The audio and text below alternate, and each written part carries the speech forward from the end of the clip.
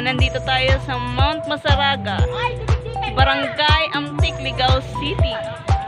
So, mag-entrance fee lang po tayo ng 10 pesos.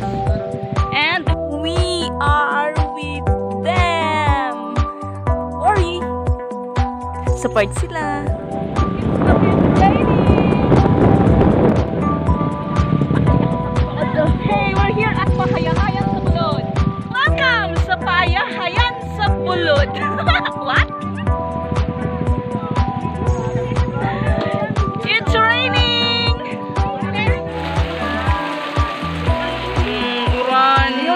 raining in here. Kaya, ayan. Sa labas lang tayo and we're coming home na later. Ayan. This is the view of Pahayahayan. It's a bit raining kaya hindi tayo makapasok. Kaya, balik na lang tayo soon.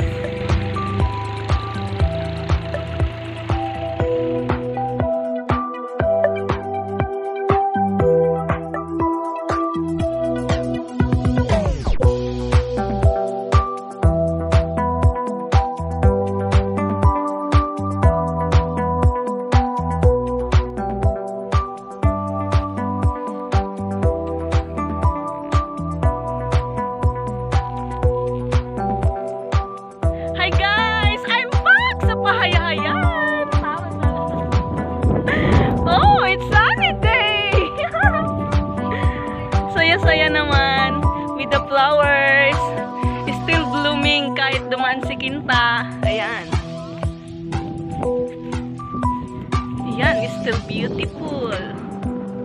Nahiya si Mount Mayon. Ayan.